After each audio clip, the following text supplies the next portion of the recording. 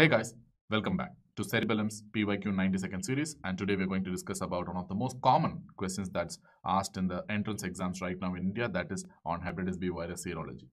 In fact, today's question deals specifically with chronic hepatitis B virus infection and they're asking what are the markers that are likely to be positive in a chronic HBV infection. We have four options. Remember, this is a question that contains multiple right answers. So what is option A? It is hepatitis B surface antigen. And of course, in a chronic HBV infection, it is likely to be positive because surface antigen is a marker of infection. And in fact, the very mm-hmm. definition of chronicity is persistence of surface antigen for more than six months. So option A is correct. So what about option B? Anti-HBs. Remember, anti-HBs is a marker of immunity, protection, or vaccination. So this patient who's having a chronic HBV infection is unlikely to have anti-HBs. If they have anti-HBs, surface antigen would have been negative. So option B is not correct. So what about option C?